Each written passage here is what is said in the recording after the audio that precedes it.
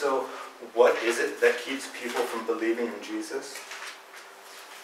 John says it, it's very simple. In fact, he says it's because they love the darkness rather than light. Uh, you know, this is another contrast that, that John likes to do, you know, darkness versus light. Uh, and he uses it over and over in his writing. Um, but I'm sure we all know this quite well, that, that sin has this tendency to gain a foothold in our lives uh, in multiple areas. And if left, uh, gone unattended, uh, you know, it becomes harder to break from it. And uh, I know for myself that um, I went to church, I heard the gospel, I heard what the Bible had to teach.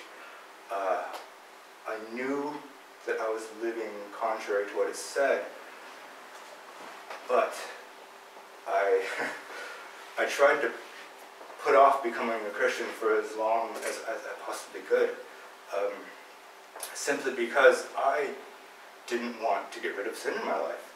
Um, I loved darkness rather than the light, and I, I didn't want to stop sinning. Uh, I, I wanted to be in control of my life. I wanted to hold the reins and to guide where I was going. Um, however, uh, uh, as Dietrich Bonhoeffer said, says, when Christ calls a man, um, he bids him come and die. And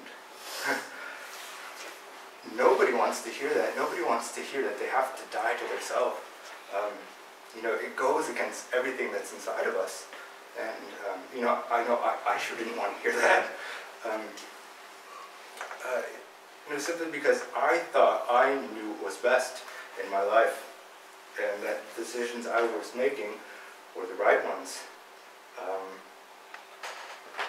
but the fact is, the more I chose darkness over light, the more I chose sin over God, uh, the more I became enslaved to those things. And not only did it affect my life, but it affected the people around me as well.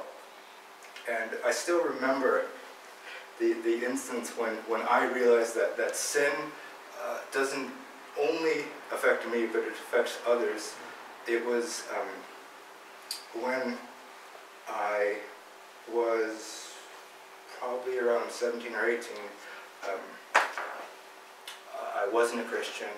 I had been going to church for a while, and up until really this point in my life, I didn't have to worry about my actions outside of church because uh, basically no one really ever saw me outside of church.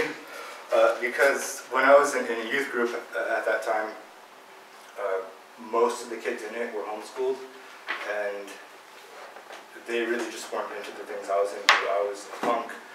I liked playing music, I liked skateboarding, and basically nobody else liked any of those things. And so uh, I, I, never had to worry about coming across anyone that I knew in church. And so I could, I could do what I wanted. And um, it only affected myself, or so I thought. Um, until one day I was at a show, uh, my friend's band was playing, I did what I usually always did during shows was I got wasted and I I was drunk. I was going outside to smoke a cigarette and as I was going, uh, I just sort of looked up and just it just seemed like he appeared out of nowhere. It was just uh, one of the kids from youth group and it was yeah, just really impactful for me because I knew that he had no idea of the things I was doing. I, I knew that he knew I was drunk because I couldn't walk straight, and I was probably slurring about when I, when I tried to talk to him. But um, I knew that this kid actually kind of looked up to me uh, because he was he started to get into skateboarding. Um, he's actually really good now. But uh, he, he was getting into skateboarding, and I knew that I had some kind of influence on him. Um, and it was at, at that moment that I, I realized that, um, you know, I, yeah, I, I potentially had the power to, to steer him off in the wrong direction. Um, that he was, uh, you know, a good kid, and he loved the Lord. Um, and I realized that uh, my actions could steer him away from that, and it, it scared me. Because for, up until that point, um, you know, like I said, I thought my actions were my own. I thought they didn't affect others. But uh, when I when I, saw that and I was confronted with it, um, it scared me. And so think from that moment on, I really started to think, rethink uh, some of the things that I had been hearing in church, and you know for a fact that that was God working in my my life, just even before I was a Christian.